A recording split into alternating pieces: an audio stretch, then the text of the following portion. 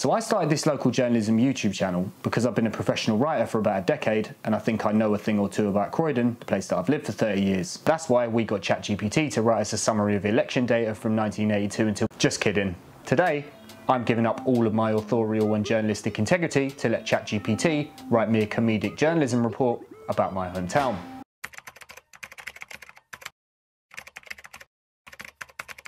Croydon. In a stunning turn of events that has left the rest of London scratching their heads and consulting their maps during a town hall meeting in an impressive display of national pride. The new residents embraced their new autonomy with Like the good meat puppets that we are, we're going to head out into the Cronx to film me reading out ChatGPT's unintentionally hilarious script, word for word, in public.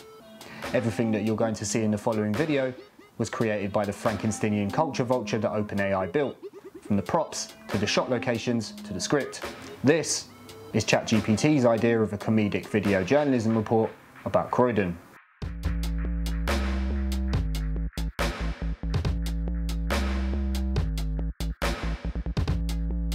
it's so bad, Nick. Such a stupid script.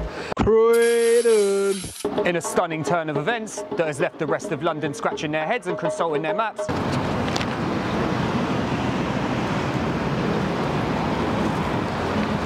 Croydon has declared independence and formed its own micronation. It's already established its borders, conveniently marked by the Ring Road, and has set up a makeshift capital at the Whitgift Centre. The self-appointed president of Croydonia, who has previously held the position of mayor of Croydon, declared independence during a town hall meeting intended to discuss parking regulations. We've had enough of being Croydon's underappreciated appendix. From today, Croydonia stands alone. In an impressive display of national pride, residents have embraced their newfound autonomy with gusto. The national anthem, set to the tune of 90s Croydon FC chant, now blares through the speakers at East Croydon every hour. Plans for a state-of-the-art monorail connecting Boxpark Croydon and Westfield Shopping Centre have also been announced, promising to revolutionise the way we shop and dine in a 500-yard radius. Croydonia's economy is off to a roaring start, with its own new currency, the Croy dollar, being pegged to the value of a Greggs sausage roll. Local businesses are also thriving, with vendors selling limited edition Croydonia merchandise, including giant passports. The newly established Croydon Ministry of Foreign Affairs has promised to reach out to other micronations, including Sealand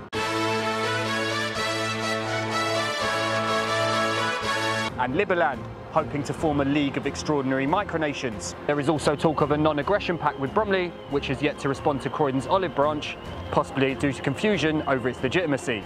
Plans are also in the works to develop Croydonia's first space program, ambitiously titled Croydonia to the Cosmos. Five, four, three, two, one. In a bid to establish a unique cultural identity, Croydonia is also set to play host to the first International Croydon Film Festival, featuring only films set in Croydon. Submissions include a gripping 45-minute documentary on the history of the Croydon tram,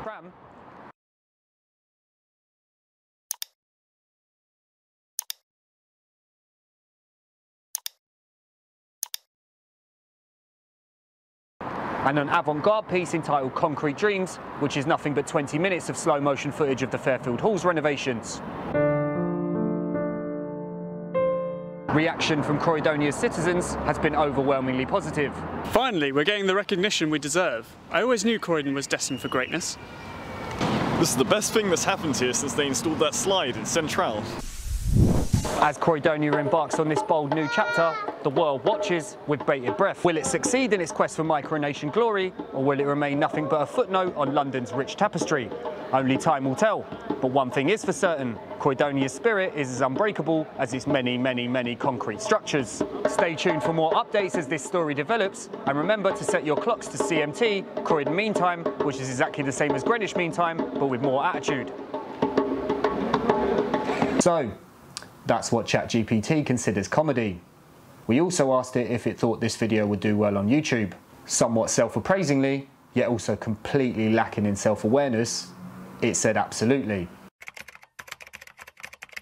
Absolutely. Here's why your video has great potential to do well on YouTube. Ha ha ha ha ha ha ha ha. LOL LMAO RL for XD ha ha ha ha.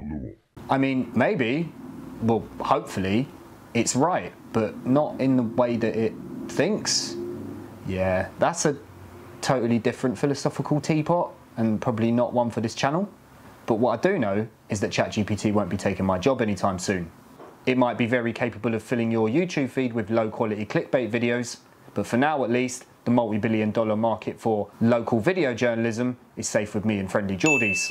Anyway, let us know what you think about ChatGPT's comedy writing ability in the comments. And thanks to our patrons for continuing to fund us making weird videos like this, but also important local journalism of the factual kind.